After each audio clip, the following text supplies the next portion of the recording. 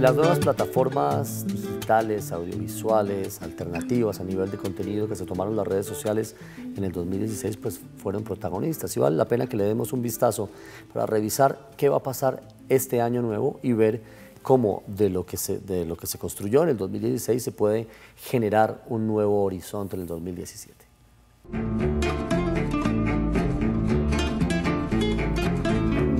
Una moda, Andrés, se volvió una realidad de consumo de medios, o diría yo mejor de contenido de medios audiovisuales, las series web, que no solo están en los canales tradicionales, sino también en plataformas digitales nuevas y por demás novedosas las series web. Lo dice muy bien usted, contenidos, porque si algo me llamó la atención de haber entrevistado a estos chicos es que nos hablan que no es una competencia, digamos, con la televisión, o que no es que se estén desplazando las personas de, digamos, del televisor hacia las páginas web sino que es, una necesidad de tener más contenidos. Ellos ya llevan varios años haciendo series, se han convertido también en referencias en todo el continente y aquí está la historia de Dirty Kitchen. Ah, la juventud.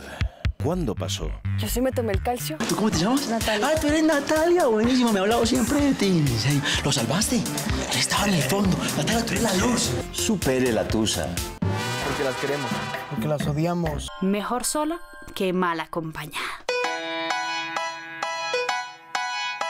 Ante la nueva sociedad de consumo, generar recordación y mantenerse vivo frente a la proliferación de contenidos que ofrece la web es un gran reto para quienes trabajan desde esta plataforma.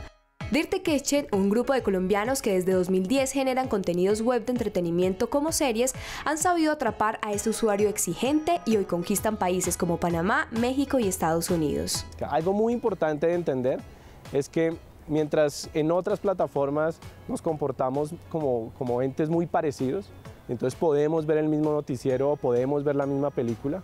En digital sí nos comportamos como seres muy individuales. Entonces consumimos contenido sobre el videojuego que estamos jugando o sobre el partido que acabamos de ver o sobre el destino al que vamos a visitar. Cada vez estamos más ávidos de nuevos contenidos e invertimos más tiempo en ello. Por supuesto, el humor es un gran gancho. Nos hemos preocupado por tener conversaciones alrededor de momentos de vida. Sí, el momento de vida en que te enamoras, el momento de vida en que estás en tu primer trabajo, en que te fuiste a vivir sola, en que eres madre, en que, en que reflexionas un poco de, qué esperas de aquí en adelante.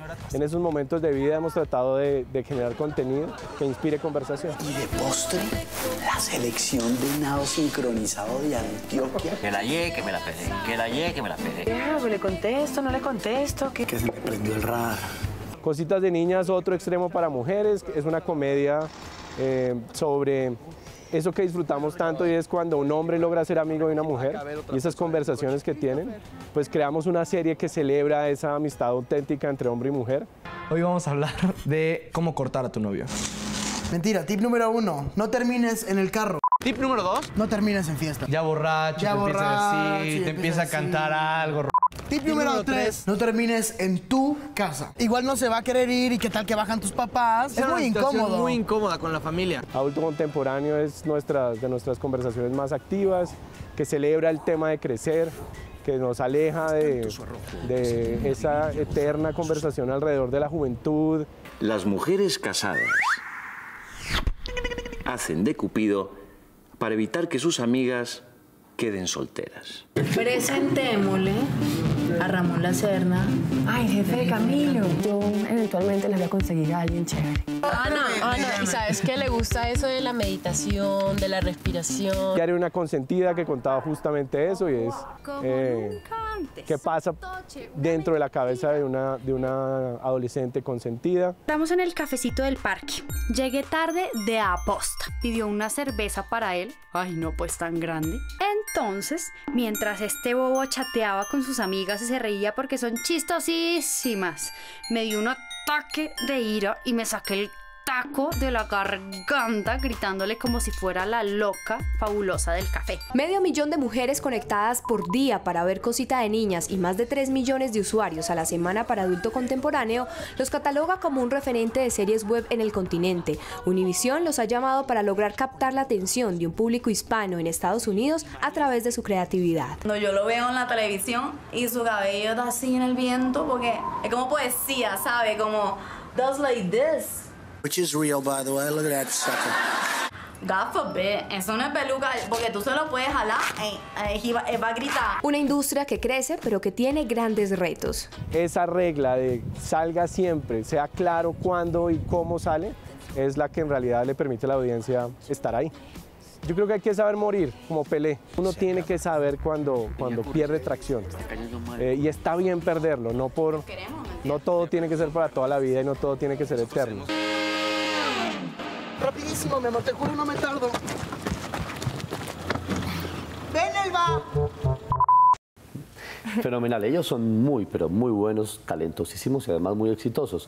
Pero hay algo que, que, a mí me llama la atención, Luisa y Andrés, y es el esfuerzo que hacen, porque la producción es de primera línea, eh, es sostenible económicamente porque mm, me da mucha tristeza que muchas veces estos esfuerzos no son soportados con pauta publicitaria o con sponsors para que pueda ser eh, legítimo y viable durante mucho tiempo. No sé. En Estados Unidos esa ya es una industria que anda sola, ¿no? Y lo que noto yo a través de la interacción que he tenido con esas series web es que, como decía usted, la factura comienza a aumentar, ¿no? Y ya vemos también presencia de actores de los medios tradicionales en esas series web. Veíamos a Marcela Angarita, por ejemplo, ahí. Hay otro tema y es el, el de la publicidad. Por ejemplo, no hacen evidente la publicidad dentro de los videos, como uh -huh. sacó el celular, entonces a los patrocina tal marca, sino lo que ahora están haciendo es estrategias y, por ejemplo, no sé, una marca de celular los contrata y ellos se arman una, una historia. Por ejemplo, no sé, Caperucita Roja, si tuviera celular en aquella época. Pues qué bueno, porque eso lo que garantiza es la vida de toda esta creatividad, ingenio e innovación. Uh -huh, claro que sí. Vamos a hacer un corte para comerciales ya volvemos.